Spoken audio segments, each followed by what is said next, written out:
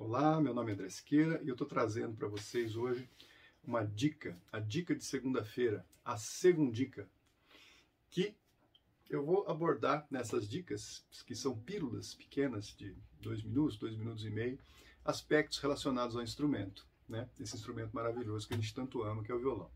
E a dica de hoje é uma coisa muito óbvia, parece muito simples, mas que dependendo da escola é, da qual você vem, tem uma abordagem diferente. Você vai estudar isso de uma abordagem diferente. Quem vem, por exemplo, da escola do violão clássico, tende a pensar a escala maior a partir de notas, da notação mesmo, né? pensando nos, nos, nas notas com os acidentes todos.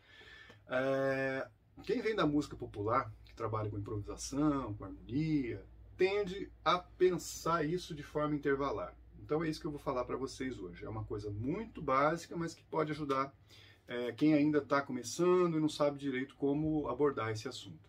Então, a escala maior, começando da sexta corda, na corda Mi, nós temos, por exemplo, três formas de tocar.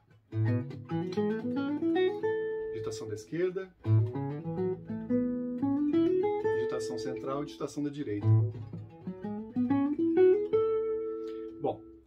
Cada uma dessas vai envolver mecânicas diferentes, mas a gente não vai falar disso hoje. Eu vou falar dos intervalos mesmo, da escala maior, e a gente vai começar com a digitação da esquerda, que é essa digitação em que a mão está toda para cá, toda apontada para o headstock, aqui para a mão do instrumento. Então o dedo pivô é o dedo 4, é o dedo que não passa para cá, né, de jeito nenhum. Ele fica aqui, sempre nessa quinta casa, aqui no máximo. E essa digitação vai, vai ser construída a partir daqui. Então nós temos tônica, segunda, terça, quarta, quinta, sexta, sétima maior, oitava, nona, décima ou terça, décima primeira, décima segunda ou quinta, décima terceira, sétima maior e oitava novamente. Bom, existem várias formas de estudar isso. E a dica que eu dou hoje, então, para estudar essa escala maior é pegar essa digitação e fazer todos os padrões de intervalo presente, é, presentes nela. Então, terça.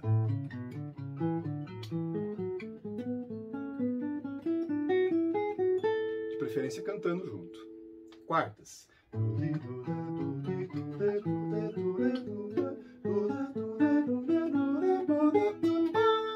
Desculpa a desafinação. Aí, quinta.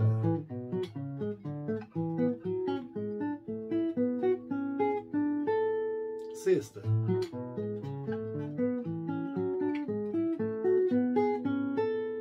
Sétimo. Desculpa.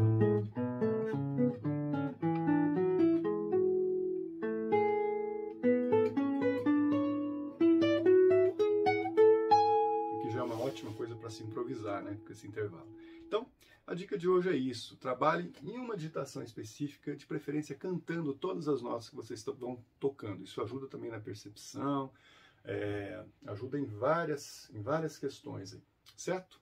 Gratidão, espero que vocês tenham gostado. Deixa um, um, um joinha aí, é, curtam, compartilhem com os amigos e agradeço imensamente.